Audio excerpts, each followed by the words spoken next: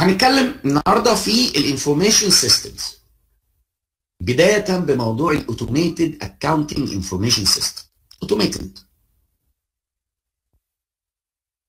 مصطلح زي ما إحنا شايفينه بهذا الوضع. تاني بأكد مش مطلوب مني أقعد أمسك المصطلحات والتعريف أحفظ كلمة كلمة وحرف حرف. هضيع وقت ومش هفهم وده الأهم وغالبا مش هعرف أجاوب لو حفظت. أنا محتاج أفهم كل التعريف والمفاهيم اللي هتقابلني في ال section ده كله. مش محت... مش مطالب إن أنا أحفظ الكلام ده. محدش هيقعد يقول لي سمع وأقعد أهز نفسي كده بقى أسمع. مفيش الكلام ده. لازم أبقى فاهم عشان أعرف أجاوب. مع ال keywords بتاعتي وأحط باقي الكلام من مفهومي. القصة إيه؟ أنا system الحسابات عندي ورقي. paper based accounting system عايز أعديه في electronic process electronic على الكمبيوتر من خلال بقى ال programs وال applications اللي بنتكلم عليها عشان يبقى ال system ده بدل ما هو موجود على الورق يبقى موجود على الكمبيوتر فيبقى computer based دورة محاسبية مستندية ورقية تعدي على electronic process اللي غالبا طبعا أنا كراجل user عادي. ما بشوفهاش. دي عباره بتتم بقى من خلال ال codes وال programming وال designing بتاع البرنامج والقصة دي اللي أنا ما بيبقاش ليا تدخل كبير قوي فيها. يمكن عملية ال design في ال set up في البداية عشان أقسم مين هيروح فين وإيه يسمع في إيه وخلاص. وبعد كده بكمل شغلي كراجل user عادي ما ببقاش شايف إيه اللي بيحصل جوه.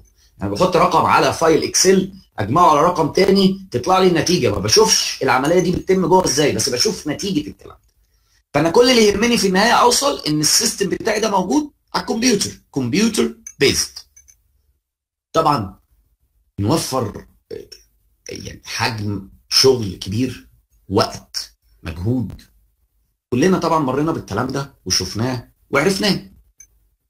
كتير مننا يعني إلا ما أعتقدش إن يكون لسه في حد شغال بمستندات ودفاتر زي زمان حتة الدفاتر. ده يمكن المستندات نفسها ال paper based دي إلى حد كبير اختفت في بعض الصناعات تماما.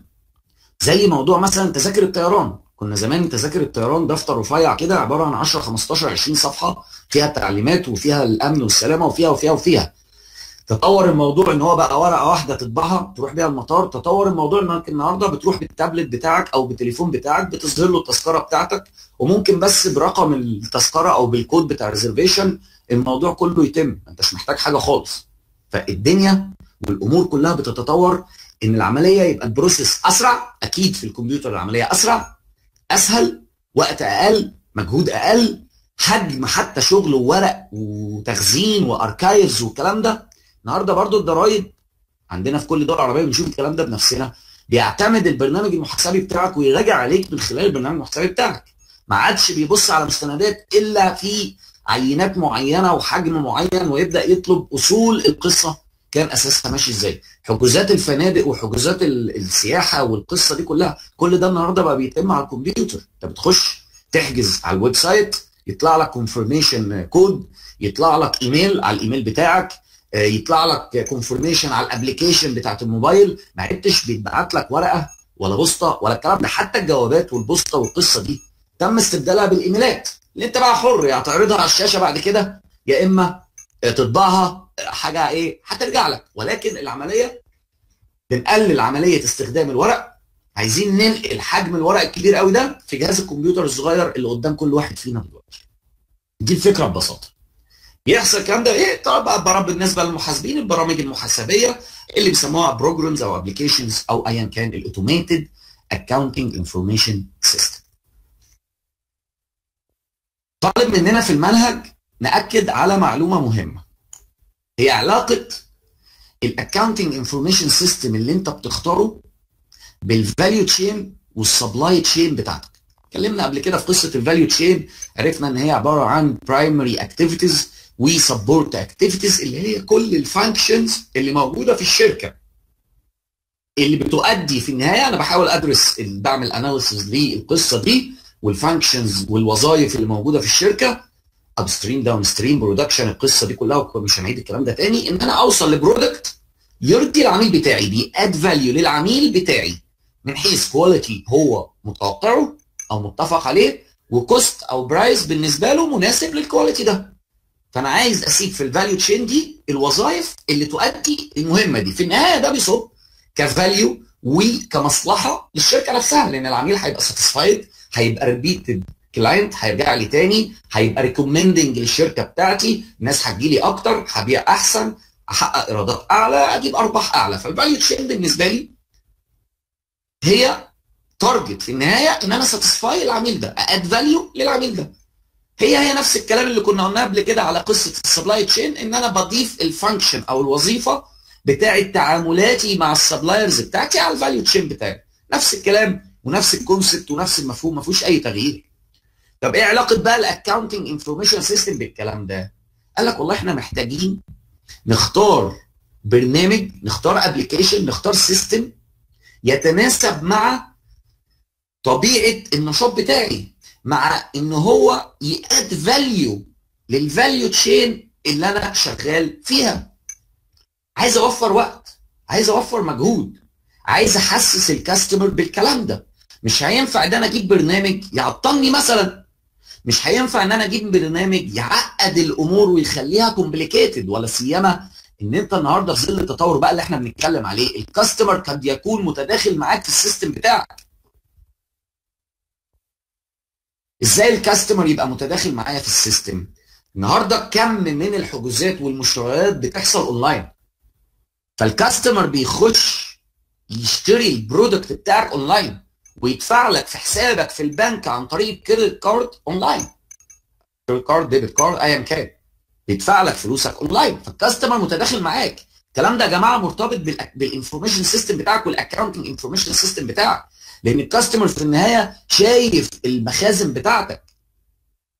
customer لما بيجي يحجز اوضه في فندق بيشوف الأوض اللي فاضلة قد إيه. مش دي capacity بتاعتك؟ بيشوف ال seats اللي موجوده ومتاحه في الطياره اللي عايز يحجز عليها قد إيه. مش دي برضو من جزء من شغلك؟ اما بيخش يشتري من اونلاين من امازون ولا من يشري ولا من سوق dot com ولا من جوميا ولا من كل معظم النهارده محلات الملابس بتشتغل اونلاين هي كمان زارا ومزارا والقصص دي كلها. ناس كتيرة بتشتغل اونلاين. كل ده مربوط بال information system بتاعك. هو مش محطوط اونلاين وخلاص. لأنه بيخش يشوف المخازن. الجاكيت ده موجود ولا لا؟ اوضه النوم دي موجوده ولا لا؟ المكتب اللي أنا هشتريه ده موجود ولا لا؟ تمام؟ فانا عايز في النهايه أحط accounting information system يسهل لي الأمور يوفر لي في الوقت والكلام ده طبيعي ينعكس على العميل في الآخر. مش عايز أروح بقى أجيب حاجة overvalued ومش مناسبه لطبيعه نشاطي وحاجه بفلوس قد كده بس عشان يبقى أنا بستعرض الأمور وخلاص قدام موظفيني بقى قدام الناس اللي بره. في النهايه ده cost عليا. ال cost ده أنا مضطر اشيله ال product بتاعي وان كان على المدى الطويل زي ما درسنا موضوع ال pricing قبل كده. فده هينعكس برضو على العميل فانا عايز اختار الحاجة المناسبة لقصة ال value chain بتاعتي توفر لي وقت توفر لي مجهود توفر لي cost إن أمكن وتطلع معلومات. وقلنا قبل كده ال characteristics بتاعت المعلومات. تكون accurate و timely manner أنا عايز أشتغل مع system يكون جواه معلومات. Accurate يكون فيها integrity نزاهه تكون reliable يقدر إن إحنا نعتمد عليها. لو ال system بتاعي غير مناسب قد يكون الكلام ده مش صحيح. تكون في timely manner. تكون المعلومات to the right person in the right time at the right place. قلنا الكلام ده برضو قبل كده.